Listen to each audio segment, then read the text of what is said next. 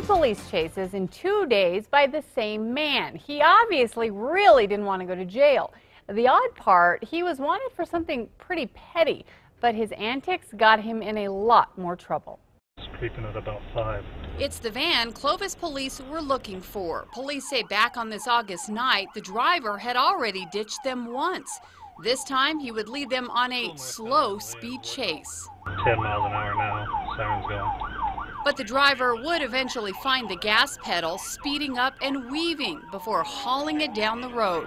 A minute later, police would disengage, calling off the chase that reached 55 miles per hour in a residential area.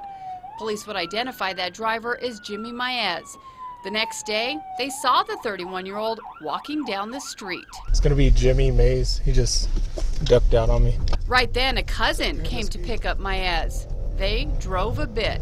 Stop! Maez then hopped in the driver's seat and chase number two was now on.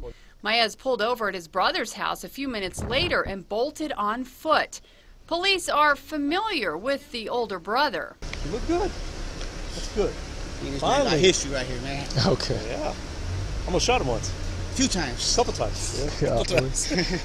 He had a theory about why his little brother ran. They're not bad kids, bro. They Yeah. got, they got petty warrants, bro. Mhm. They're, Yeah, they're that's all he they had. Never, they never been He in jail. had- They're scared, bro. he had a petty warrant. That's why I was trying to stop out with them. And I seen this car come out of nowhere, scoop him up, and they took off. Officers fanned out in the neighborhood, guns drawn.